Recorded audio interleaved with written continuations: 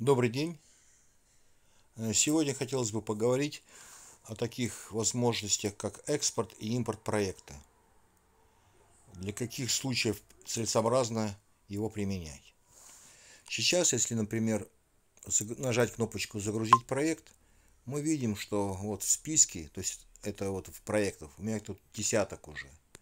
И теперь, чтобы запустить нужный проект чтобы запускал, запускался автоматически, нужно переименовать его и поставить в последнем списке, э, в данном списке. Это не очень удобно. Предлагается следующий вообще механизм работы с проектами. Вы создаете проекты, а затем экспортируете их. Экспортируйте на устройство. Здесь есть два, два, две возможности экспортировать проекты экспорт, экспортировать э, на облако, либо экспортировать внутрь устройства. Вот, допустим, мы хотим экспортировать какой-то проект. Нажимаем «Экспорт» и выбираем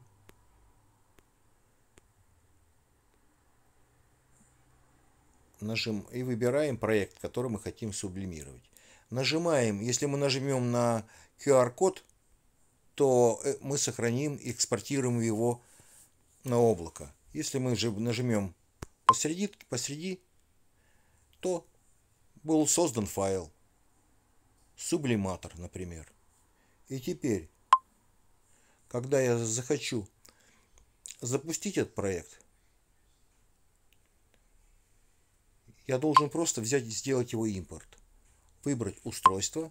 И мы видим здесь вот у меня в папке проекты в виде архивов хранятся все проекты, которые я создал. В том числе и вот последний проект, который мы выбрали. То есть вот такой механизм хранения проектов не в теле самого приложения, в его внутренней базе, а в файле, что это дает? Во-первых, при таком способе у вас в проекте будет в базе всегда находиться один тот проект, который вы выбрали и хотите его, чтобы он автоматически запускался. Все остальные проекты вы просто-напросто делаете их экспорт. Вот давайте я, например, сейчас как, как, бы, как бы э, предложил вам работать. Например, э, загружаю, так, что я сделал? Давайте, экспорт проекта. Я сейчас выберу те проекты, которые считаю, там сказать, наиболее важными для себя, потому что здесь у меня много всяких тоже тестов и все прочее. Вот, например, сублиматор. Уже его экспортировал файл. Дальше здесь мне ничего не нужно. Давайте выберем какой-нибудь еще. Вот файл селекта экспортирован.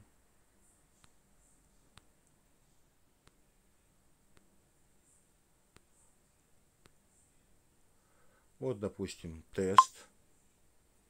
Экспортирую.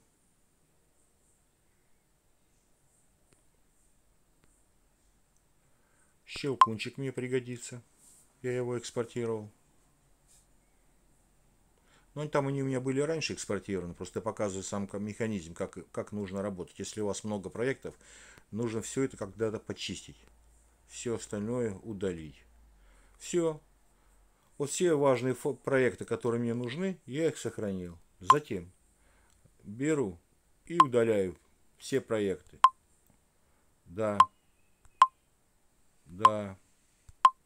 Да. Видите, я все подряд удаляю проекты после того, как я их экспортировал, я во внутренней базе оставить хочу всего один какой-то проект. То есть я вам сейчас покажу механизм, как в дальнейшем работать с проектами. Вот у меня их тут много накопилось, я их все удаляю. У вас может быть меньше или больше, это не имеет значения. После того, как проект создан, сохранен и экспортирован, проект во внутренней базе, он уже не нужен. Ну, если, конечно, вы с ним э, не, не работаете непосредственно. Ну, а пусть у вас не, там накопилось несколько проектов, нужно их экспортировать и удалять из внутренней базы. Для чего это я вам скажу сейчас немножко позже. Давайте я уже доделаю, начал. У меня очень много проектов тут на, накопилось. Все это нужно почистить. Это будет надежно и быстрее работать. Вот таким же образом вы можете это все проделать. Вот. Вот теперь у меня в проекте ни одного, во внутренней базе каскады не осталось ни одного проекта. Все нужные мне проекты сохранены в файлах. Вот и даже еще сообщение выдается. И теперь я хочу, например, работать с каким-то проектом. Загрузить проект. Сейчас у меня пройдет тут удаление, то быстро сильно. Не успевает он еще. Сейчас он, я немножко быстрее удалял. Сейчас он последовательно все удаляет проекты из внутренней базы. Давайте дождемся и потом покажу, продолжим дальше.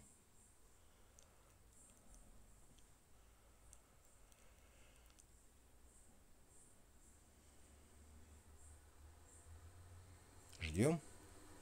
Видите, как долго работает процесс удаления, очистки базы внутри. Но тем не менее, сейчас вот уже заканчиваются все проекты, там пару десятков я их быстро натыкал, они в очередь скопились, теперь вот система их удаляет из внутренней базы каскады. Но нужные мне проекты я сохранил в виде архивов. Чем хорош архив? Архив, во-первых, он сам раз, дальше при импорте, он сам разархивируется и сам автоматически запускается. Кроме того, в архиве, в одном файле, в архивном, сохраняются все картинки, все там аудио, видео, там какие-то там, ну, все компоненты, макросы. Не нужно отдельно их, когда вы кому-то отсылаете, э, прикреплять несколько файлов. В архиве сделано все. Э, вот в данном архиве какого-то проекта хранятся все нужные компоненты. Вот теперь все удалились, и теперь мы говорим – импорти... тот проект, который мы хотим, чтобы он запускался постоянно, мы говорим импортировать проект. Проекты хранятся либо на облаке, что более надежно, а можно там и там хранить, а можно импортировать с устройства. И вот теперь мы берем какой-то проект и импортируем.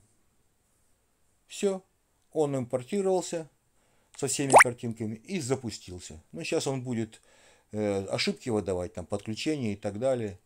Э, это не важно. Главное, что вот он механизм. Теперь, если мне не нужен данный проект, я что делаю? Опять же его удаляю.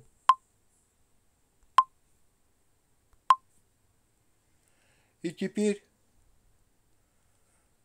если мне нужно какой-то выполнять следующий проект, я таким же образом, то есть вместо того, чтобы загрузить проект нажать, я нажимаю кнопочку «Импорт» и выбираю устройство. И выбираю нужный мне проект. Ну, допустим, где я делал проект какой-то. Вот, допустим, где он. Сейчас, секундочку. Так, где-то там было красивый проект такой, чтобы он не зависал. Ну вот, допустим, пусть это будет даже кормушка проект. Вот загрузилась проект кормушка. Вот, здесь вот тоже опять же загрузка, потому что мне там не сохранились они, запускается он. Ну, подключения нет к этому устройству, поэтому он не отображается. То есть, таким образом, если я сейчас нажму кнопку «Загрузить», у меня всегда, видите, один проект. Что это дает? Теперь не нужно мучиться, какой проект запустится первым, какой последним. Запускается всегда один проект, то есть надо стараться так, чтобы э, во внутренней базе э, приложения находился всегда один проект. Все остальные важные проекты экспортированы и потом при необходимости импортируются. Что это дает? Бывают некоторые такие случаи. Ну, например, компонент видео. Он не работает не со всеми типами процессоров поддерживается на планшетах. И при этом приводит, даже может привести к зависанию приложения. И тогда что делать? приходится выходить из приложения, заходить в настройки приложения, выбирать пункт и чистить данные. Только так можно выйти. Но при чистке данных у вас сотрутся все проекты, которые находятся во внутренней базе. В этом же случае, который я предлагаю, у вас сотрется только тот проект, который вызывал какие-то сбои. Но вы всегда в любом времени можете взять другой проект и запустить его. Вот при такой организации труда или работы это более надежный способ получается. Кроме того, э, если при чистке данных у вас проекты сохранятся, потому что они сохранены уже в файлах в виде zip-архивов, в архивных файлах. Кроме того, даже если вы захотите удалить или случайно удалили каскаду, иногда люди специально удаляют ее, ну, чтобы там проверить то или иное, ну, для того, чтобы загрузить потом новую версию или так далее, не хочется делать автообновление, неважно что. У вас даже при удалении приложения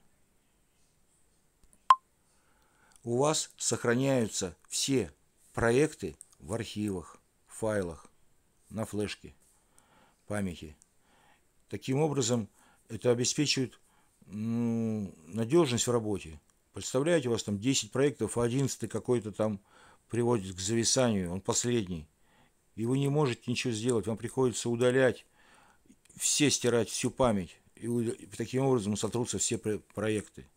А вот при таком способе, при работе с, э, с экспортом проектом и импортом проектом, у вас не будет проблем с тем, какой проект загрузить,